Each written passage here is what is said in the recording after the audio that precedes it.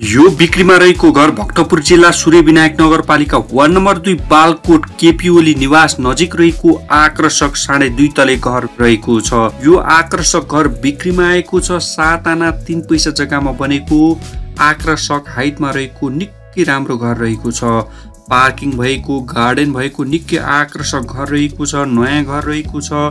काठमाडौँको कोटेश्वरबाट जडीबुटी टार चोक हुँदै बालकोट यो घर भएको ठाउँमा सहज रूपमा पुग्न सकिनेछ जुन कोटेश्वर चोकबाट यो घरसम्मको दूरी जम्मा तिन किलोमिटर रहेको छ भनेदेखि यो घर तेह्र फिटको बाटोमा रहेको छ। दुई हजार चौहत्तर सालमा बनेको आकर्षक घर रहेको छ। दक्षिण पश्चिम मोडाको नम्बरी रेकरवाला जग्गामा बनेको आकर्षक घर रहेको छ। टोटल एघारवटा रुम रहेको छ भनेदेखि चारवटा टोटल टोयलेट रहेको छ।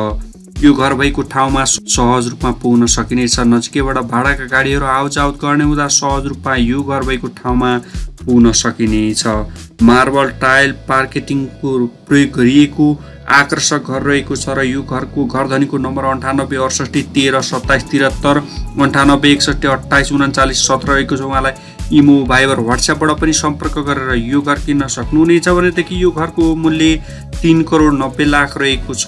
पुरा भिडियोको लागि रियल इस्टेट कारोबार नेपाल युट्युब च्यानलमा हेर्न सक्नुहुनेछ।